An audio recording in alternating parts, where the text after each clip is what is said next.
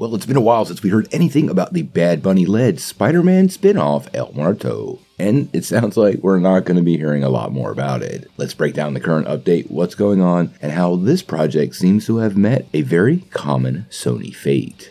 Well, as many of you know, Sony has been making effort to expand their Spider Man universe. And they've announced all kinds of projects, some of which are going to be releasing in the next year, like Madame Web and Kraven. But at last year's CinemaCon, Sony did make the announcement of several new projects, including Venom 3 and El Muerto.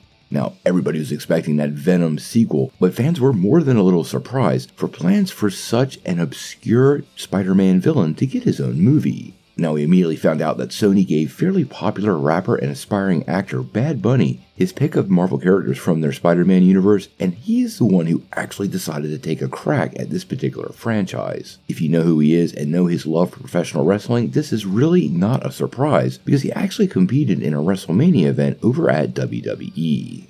Now, in a recent Time profile about the rapper, they dug into this project a little bit, and what Time magazine had to say was pretty interesting. In the article, it says, Bad Bunny feigned confusion when asked about the movie and said that no filming had taken place. His publicist said the movie was at a standstill and later clarified that it's in development. Now, if you know Sony's history, you know there have been multiple projects that kind of get some legs and then eventually disappear. Over the years, we've heard projects about various characters, including Jackpot, Black Cat, and Silver Sable, all of which started to get a little momentum and quickly fizzled out. The main question about this project has always been if fans even want it. So let's make that the fan feedback question for this video and also make sure you hit that like button. Now, quite honestly, when I look at this, it really does appear to be one of those projects that was probably announced without a lot of vetting and is simply no longer a priority to Sony Pictures for a number of reasons. Quite honestly, Bad Bunny himself is super busy, so that probably doesn't help matters very much, considering this movie was originally set to be released next January, meaning they should already be in front of the camera and coming close to wrapping up to get it into post production.